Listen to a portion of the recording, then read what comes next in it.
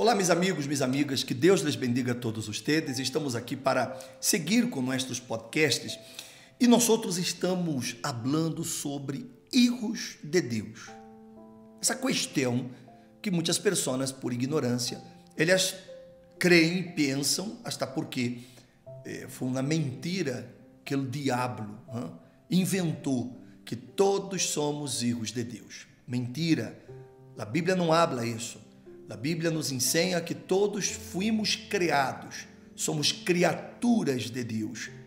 E para ser hijos de Deus, então aí nós outros temos que fazer o que está escrito no Evangelho de São Juan, capítulo 12, capítulo 1, perdão, capítulo 1, verso 12, que diz: Mas a todos os que lo receberam, e no caso receberam a Jesus, seja, que aceitaram Jesus como seu Senhor, como seu Salvador. Ele disse a todos os que lo receberam, a quienes creem em seu nome, ou seja, que se entregam a Ele, lhes deu potestade de ser hechos. Ou seja, os hijos de Deus são hechos, hijos de Deus. Eles são hechos por uma obra do Espírito Santo em uma pessoa. Você quer ver um exemplo para que você possa entender? Jesus, ele nasceu de Maria, correto?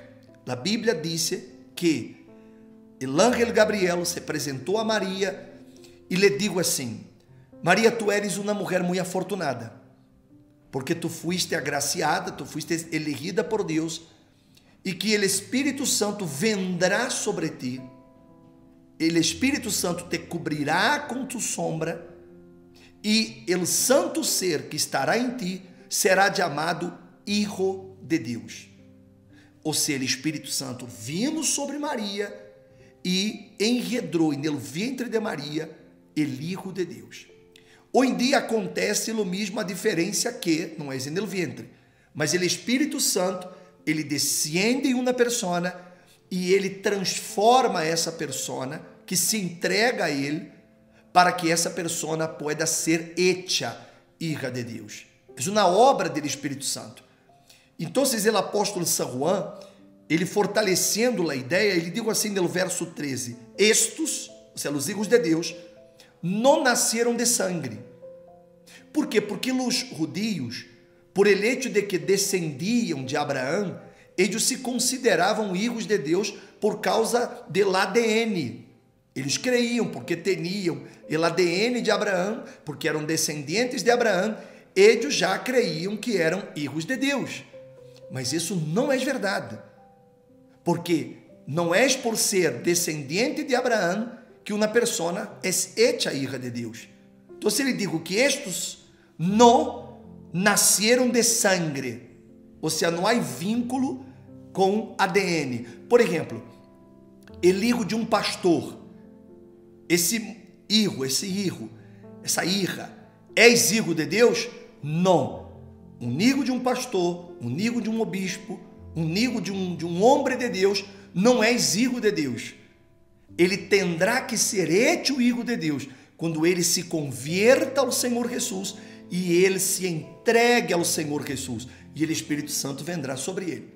Mientras isso não aconteça, esse ninho, essa, essa criatura, é exirra de um pastor, é exirra de um obispo, é exirro de um oficial da igreja, pero não exirro de Deus. Porque para ser hijo de Deus, ele terá que entregar-se a Jesus. Ele terá que passar por essa obra regeneradora do Espírito Santo. Então, se ele disse: Estes não nasceram de sangue, não, nem por vontade de carne.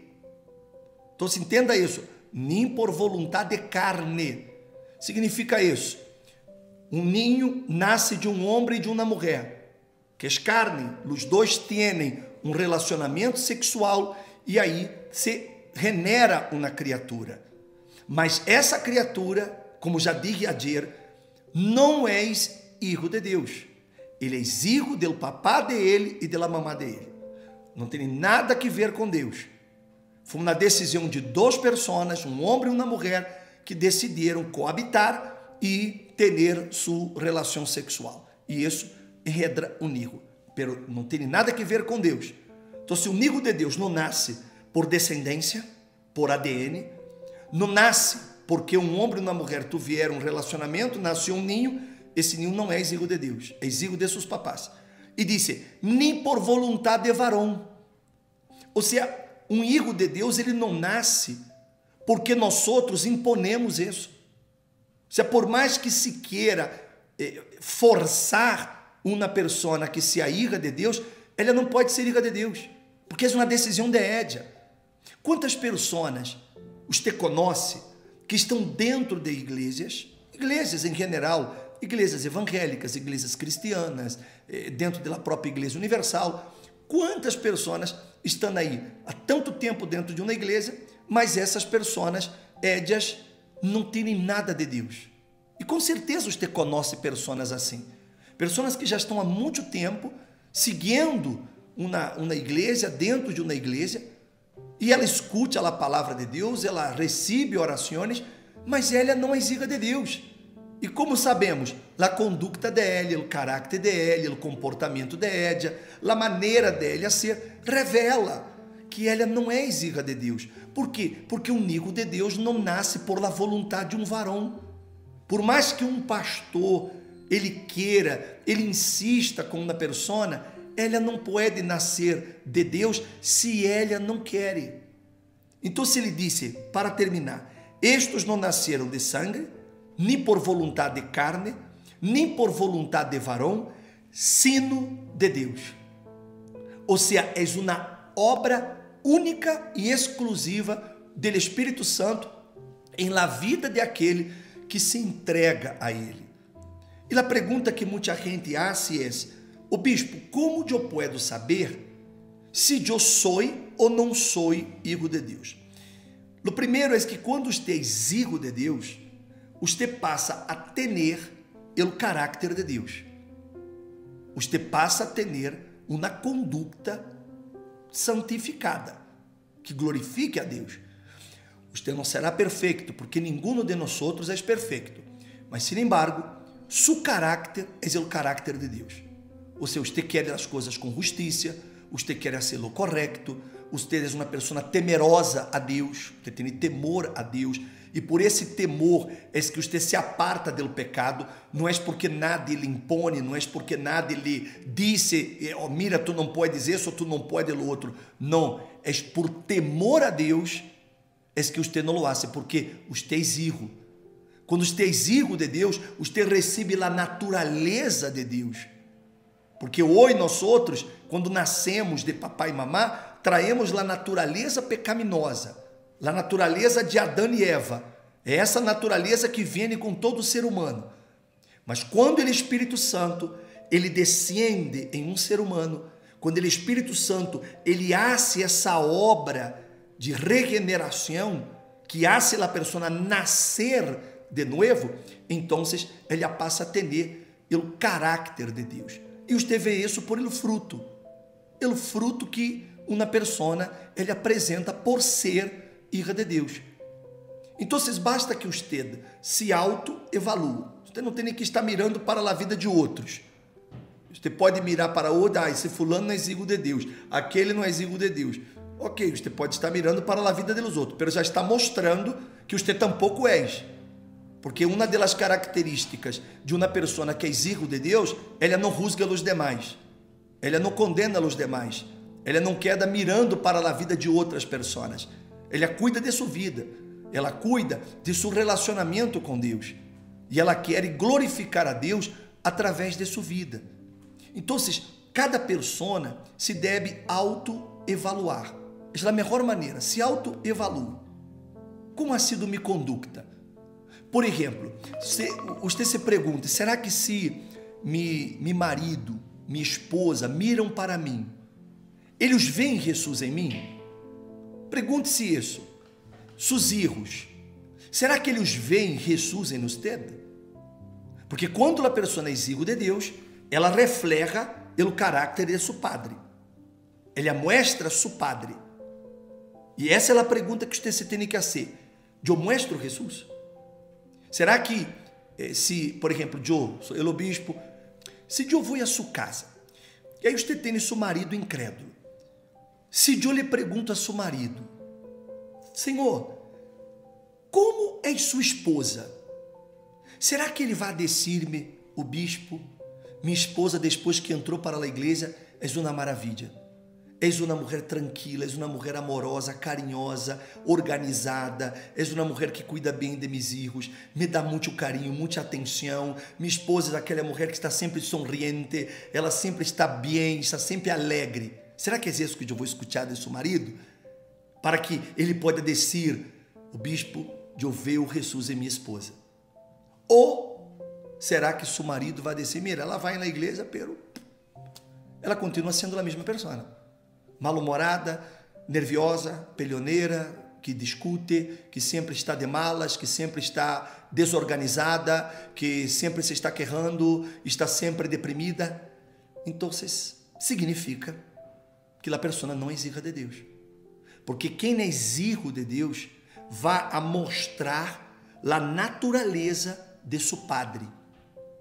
Por exemplo, se você agarra uma foto de seus papás, e usted põe uma foto suja. Então, quando miram as fotos, vamos a dar-nos contas, vamos a dar-nos conta, perdão, que usted e seus padres têm características. Usted, eh, seu nariz é parecido com o de seu papá, sua sonrisa de sua mamá, e seu caráter ou vai estar mais para seu papá ou para sua mamá.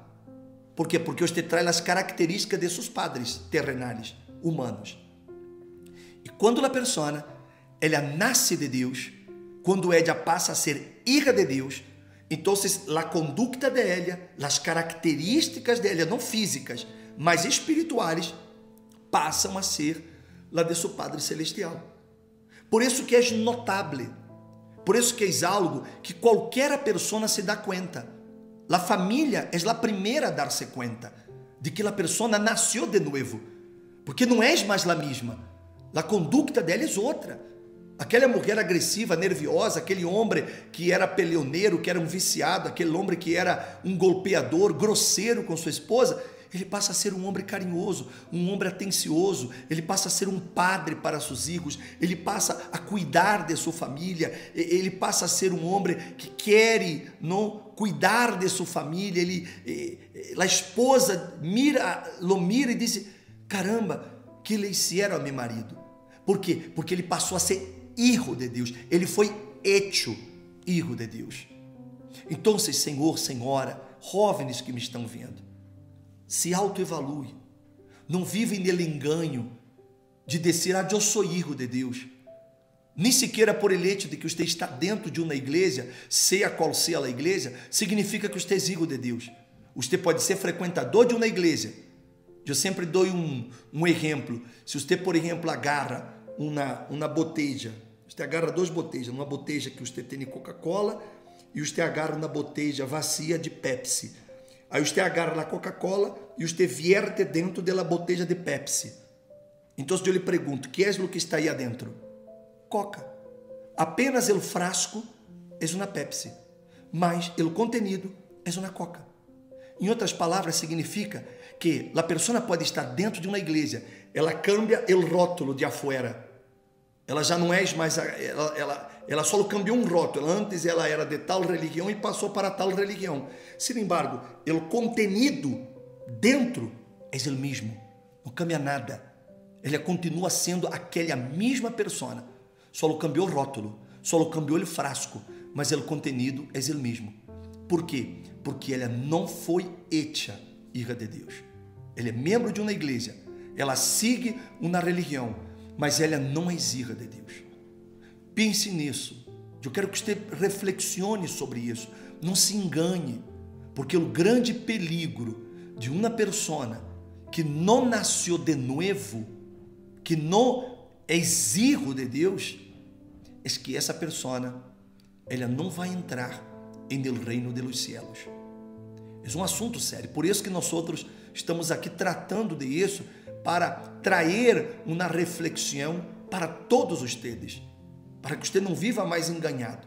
E se você chega à conclusão e você disse, o bispo, realmente mirando-me e auto analisando-me, eu me dou conta que realmente eu não sou filho de Deus, porque eu tenho uma conduta, um comportamento, uma forma de ser que é completamente arrena a Deus, ou seja, realmente me dá esta vergonha, porque realmente não tenho nada que ver com Jesus.